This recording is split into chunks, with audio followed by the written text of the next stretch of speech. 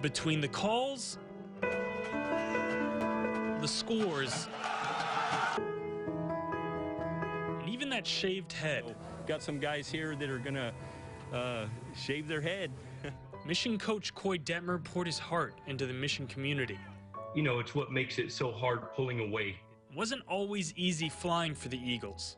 Coach Detmer inherited a struggling football team, but after two losing seasons, Detmer led the Eagles to three straight playoff appearances.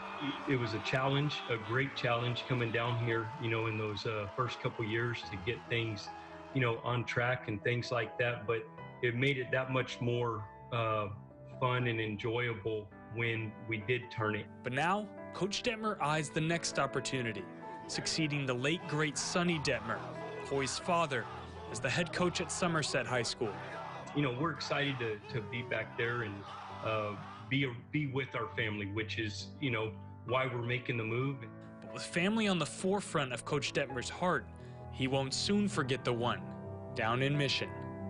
I've always wanted to have an opportunity to give back to Mission because it's given us so much, and uh, and so I'm thankful for that opportunity. Thankful that Mission gave me the opportunity and first head coaching job and all those things. It's a, it's a real meaningful deal uh, for me and our family. For Valley Central Sports, I'm Daniel Esteve.